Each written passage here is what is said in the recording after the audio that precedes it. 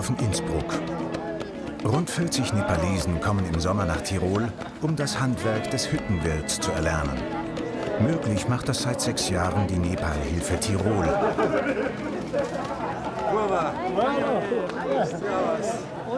Ein kräftiges Namaste ist der Startschuss für das interkulturelle Abenteuer.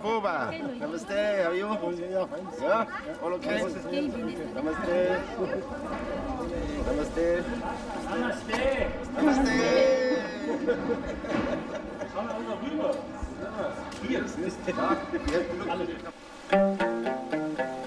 Unsere erste Station sind die Stubaier Alpen.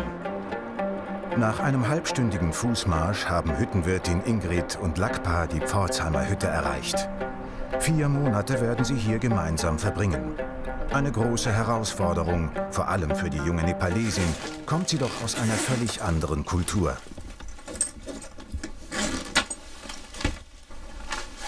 Ich, also ich war selber, ich war selber drüben Radlfahren und habe sie eben kennengelernt als wirklich sehr fröhliches äh, Volk. Immer, immer ein Lächeln drauf, nicht aus der Ruhe zu bringen, ganz gleich was ist. Und man hat aber selber gesehen, dass die wirklich Hilfe auch brauchen. Einfach sich selber da was aufbauen können. Und wenn sie das da sehen, wie es bei uns vielleicht geführt wird, ist sicher kein Fehler, weil es gibt dann schon noch Missstände. So, schau. Für Lakpa ist vieles neu und alles irgendwie anders. Das sind die Wäscheklammern. Und dann können wir aufhängen. So. Schau.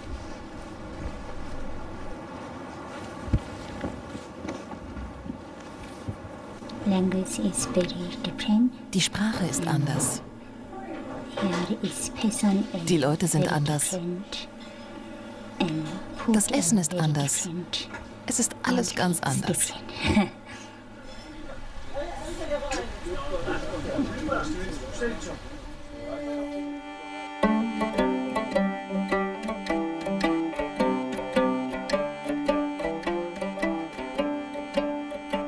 Zur selben Zeit auf der Höttinger Alm über den Dächern der Landeshauptstadt Innsbruck.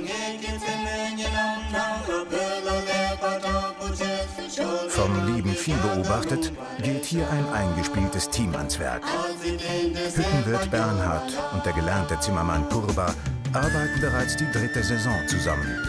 Purba hat in Nepal ein halbes Dutzend Kinder zu versorgen und kann das Geld, das er im Sommer in Tirol verdient, gut gebrauchen.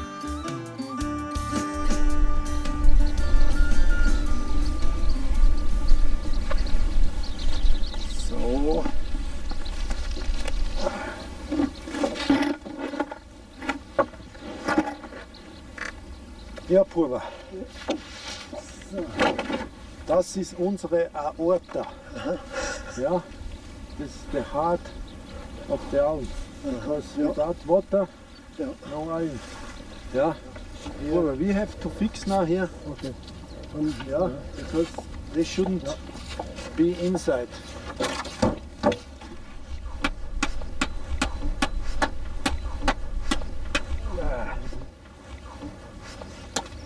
Heute noch dagegen.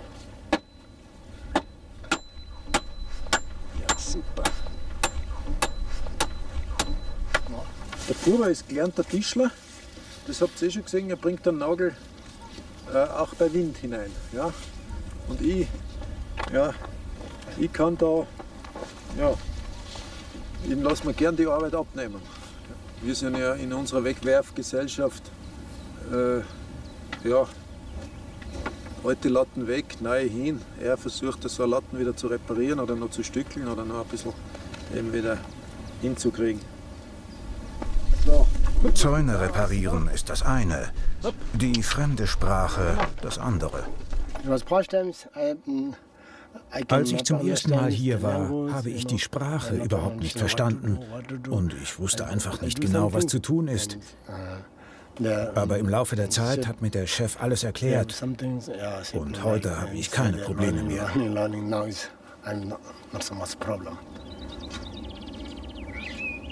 Burba war äh, sprachlich haben wir äh, schwer verstanden. Wir sind da langsam zusammengewachsen. Und gerade das, was langsam wächst, ist ja viel besser als wie beim Wetter. Wenn es schnell aufreißt, ist es auch wieder schnell schlecht. Und wenn das, das Hoch kommt immer langsam, das gute Hoch. Und er gehört absolut zur Familie. Das passt. Aber wie lange kein Weizen? Sechs Monate. Oh. Prost. Prost. Nice to have you back here. Thank you. Cheers. Everybody's doing it. Die Wiedersehensfreude wird auf der Hettinger Alm mit Gerstensaft begossen, was Sentimentales und Philosophisches mit sich zieht. That's good. now we're together again. Ja. Yeah. Let's show them what we what we can do. Das, was ganz wichtig ist, und das haben wir vom Buber gelernt, wir, wir leben nicht morgen, wir leben nicht gestern, wir leben heute. Und morgen leben wir wieder heute und wieder heute und heute. Und das ist was, was bei uns ziemlich verloren gegangen ist. Äh, Wir leben entweder in der Vergangenheit oder irgendwo weit in der Zukunft, aber wir leben nie jetzt. Und das hat er uns beigebracht. Wir leben heute. Ja? Und wenn da draußen einer äh, jammert, weil er schreit, er verhungert, dann muss ich, kann ich nur sagen, er soll mal irgendwo hingehen, wo die Leute wirklich verhungern. Ja? Nur weil er zehn Minuten auf seine Knödelsuppen warten muss.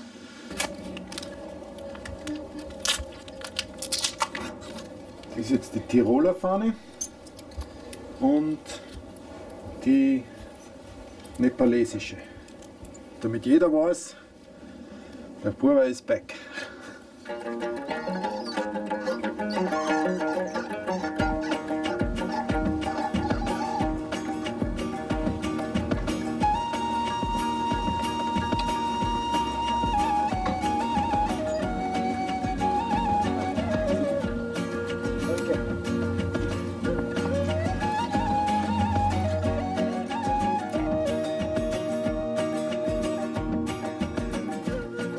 So unterschiedlich kann der Frühsommer in den österreichischen Alpen aussehen.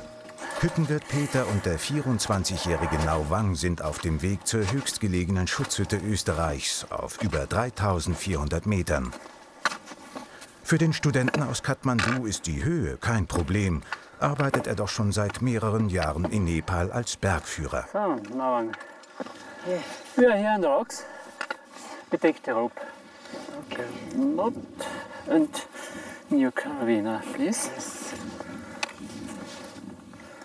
Und Johannes. Ich glaube, der hat die bessere Kondition wie ich. da ist auch die Höhe besser geworden.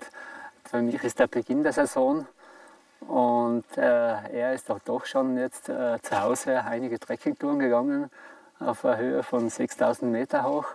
Und das ist natürlich für ihn dann nicht keine große Schwierigkeit, darauf zu gehen. Uh, yeah, it is, it is easy. Not so difficult uh, for climbing. Is it okay? So, Neumann, wir are here. Okay. Bergheil, Yeah. Congratulations, super. Yes. Now we go inside, huh? Okay. It's cold, the, we- Yes, the weather windy. is bad, windy, Windy. wet, little bit wet, Yeah. but, But okay. better we go inside.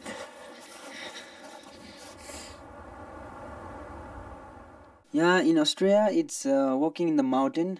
Hier in den Bergen in uh, Österreich sehen wir, wie man richtig mit der Umwelt umgeht, wie der Hüttenbetrieb so läuft. Und das können wir dann für uns in Nepal mitnehmen. Man ist hier einfach besser ausgestattet als in Nepal. Zum Beispiel gibt es hier die Seilbahn. uh, Und das ist schon eine sehr, sehr gute Sache. And here is, I think, we can learn more.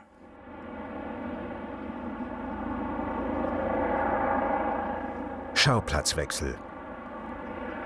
Die Brüder Krishna und Kesha haben sich auf dem Taschachhaus bereits voll akklimatisiert.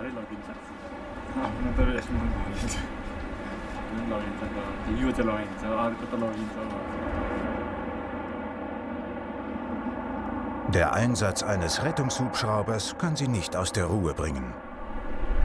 Scheint jemand in die Gletscherspalte da drüben gefallen zu sein.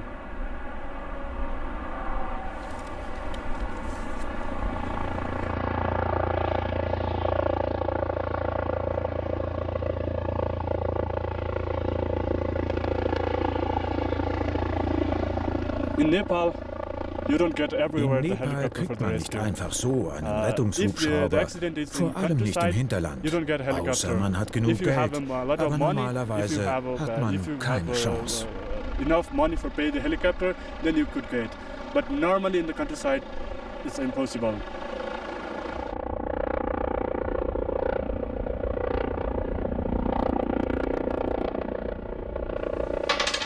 Der Hüttenalltag auf dem Taschachhaus kann sehr stressreich sein.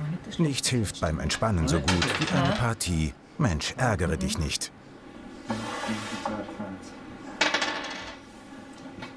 Das ist das Schlechte. Das ist der einzige.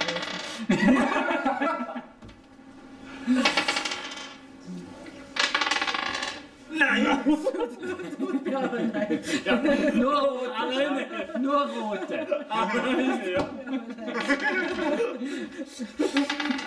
Na, brutal. Na, rote.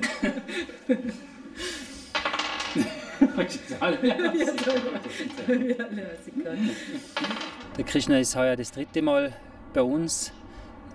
Der Kesha, sein Bruder, das zweite Mal. Und die beiden sind eigentlich äh, mehr Freunde von uns als Angestellte. Punkt. Was das Organisieren eines Hüttenbetriebes betrifft, können sich Krishna und Kesha hier einiges abschauen. Wie man cool bleibt, selbst wenn es einmal rund geht, das können wiederum die Hüttenwirte von den Nepalesen lernen.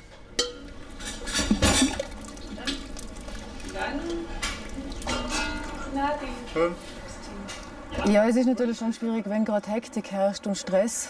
Wenn sie mit ihrer stetigen Art und nicht, also nicht dieses, so wie Europäer gewöhnt sind, zack, zack, zack zu arbeiten, äh, sondern sie machen sehr kontinuierlich, aber gelassen und ruhig ihre Arbeit. Da gibt es schon manchmal so ein bisschen Reibungsverluste, wo man sich denkt, jetzt mach doch.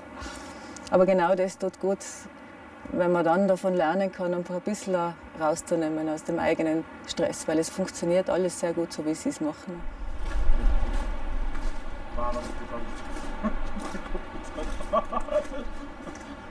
Without stress also it works. Es funktioniert auch ohne Stress. I don't like, ja. Many Viele people, Leute haben don't nicht einmal Zeit, auch nur zwei Sekunden an andere zu two- denken. Two seconds for the others. Ich brauche dies und das, ich brauche ein Auto und so weiter. Und dabei vergisst man sich selbst. Und auch wo man gerade steht im Leben.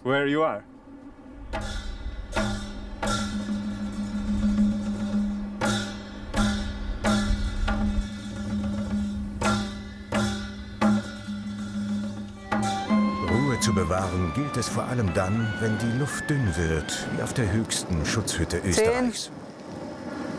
Fünf, langsam, stopp, stopp.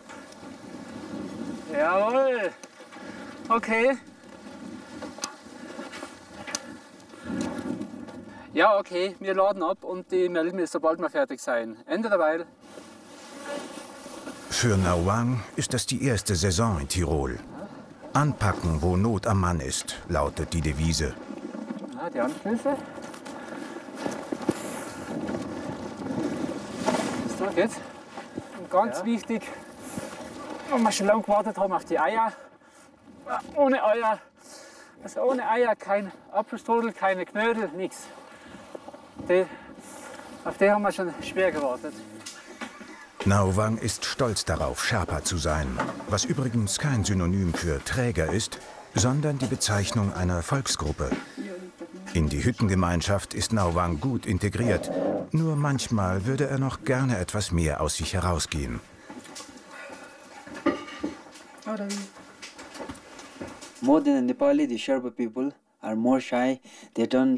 Alle Nepalesen, besonders das Volk der Sherpas, sind sehr zurückhaltend. Hier sehe ich, dass die Leute immer miteinander reden it's, uh, und das ist gut. Ich selbst bin sehr schüchtern.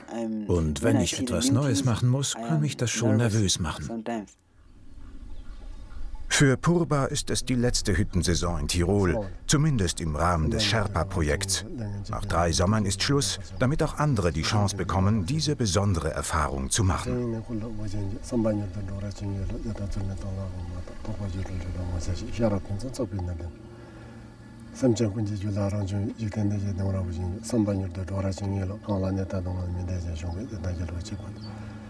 Samchan kunji ju la rang chung yi kende je dang ra wujin samba nyur da dora chung yi lo kong la ne ta dong mi de je shung ge da je lo chi kwa yin shu chen san lom cha chi kwa chi ti patra tu pi na ka po jab ta ri sa chen do ma che tu xia zong chung wu ra wujin samba nyur da dora chung je lo nya gar pe je pe la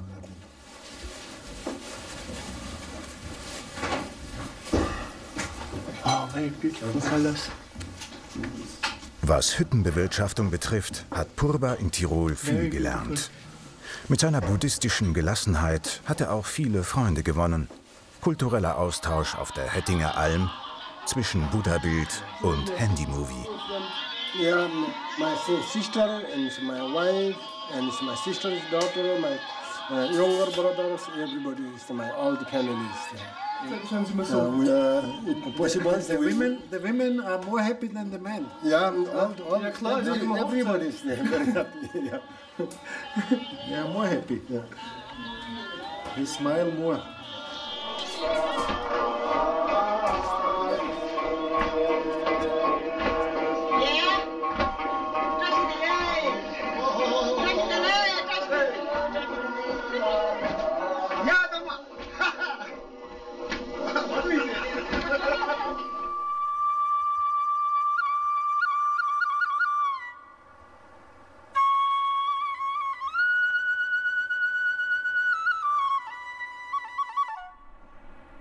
Am Taschachhaus neigt sich die Saison langsam dem Ende zu und es bleibt Zeit, um gemeinsam auszuspannen, zum Beispiel in der hütteneigenen Kletterhalle.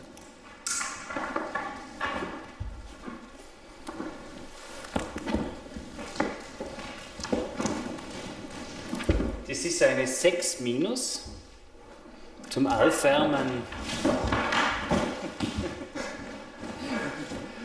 zum Aufwärmen nicht einfach. Ich habe zuvor noch nie vom Klettern gehört. Klar, Klettern am Everest und so. Aber dass man das auch in einer Halle lernen kann, das war einfach nie Teil unserer Kultur. Ja, jetzt, geh, aue. Jetzt, geh, geh, geh, aue, hopp. Trotz aller Freundschaft zwischen Hüttenwirten und Nepalesen wird es auch immer kulturelle Unterschiede geben. Sie, neigen sogar dazu, nächstes Jahr nicht zwei Nepalesen zu nehmen, sondern fünf Nepalesen zu nehmen. Nur gibt es halt da irgendwo die Grenze, wo man einfach ähm, diese sprachliche äh, Barriere, die es da gibt, äh, wo man da einfach auch aufpassen muss. Und man kann einfach, ähm, nicht, also der Kesha und der Krishna, die kann man mittlerweile überall einsetzen. Aber ähm, eine neue Nepalese oder eine Nepalesin, die sind einfach nicht überall einsetzbar und das braucht.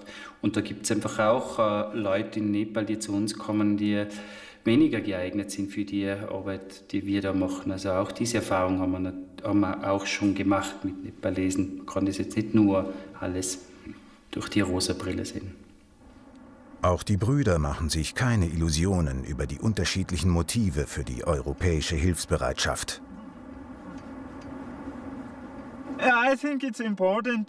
Es ist wichtig, Hilfe von anderen Menschen zu bekommen. Aber manche dieser Menschen, die in Hilfsprojekten arbeiten, die tun das nur für das eigene Ego. Und wenn sie sagen, wir helfen den armen Nepalesen, dann ist das Propaganda. Dieses Projekt hier und besonders Wolfgang Nayat, das hilft uns Nepalesen wirklich. Es wäre für mich unmöglich, hier eine Arbeitsbewilligung zu bekommen. Auf legalem Weg hätte ich keine Chance. Und sollte ich es trotzdem versuchen, ohne Genehmigung, dann werden sie mich suchen und einsperren. Jetzt habe ich die Gelegenheit, mit Medienleuten zu sprechen. Anders würden unsere Ideen und Gefühle niemals nach Europa kommen. Otherwise, no chance. Otherwise, never comes our idea, our feelings here. Nach vier Monaten auf der Pforzheimer Hütte rückt auch für Lakpa der Abschied immer näher, mit gemischten Gefühlen.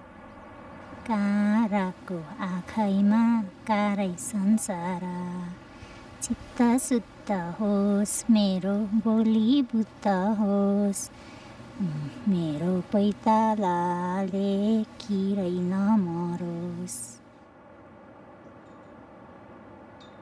ich habe jederzeit Gelegenheit, mit irgendjemandem mit zu unterhalten oder ich telefoniere mal oder es sind ständig Leute da nicht. Aber für sie ist es einfach von der Sprache her sehr schwierig nicht. Äh, wenn da irgendwo äh, ein Witz gemacht wird oder eine lustige Runde ist, da habe ich, habe ich das Gefühl, dass sie da ab und zu froh wäre, wenn sie auch wieder daheim wäre oder wenn sie da auch jemanden hätte. Für Lakpa war der erste Sommer nicht immer ganz leicht. Doch nächstes Jahr wird das Heimweh schon etwas weniger sein. Am Anfang war sie furchtbar schüchtern und hat sich auch nichts sagen und nicht reden getraut. Und mittlerweile geht es total gut. Jetzt kann sie auch schon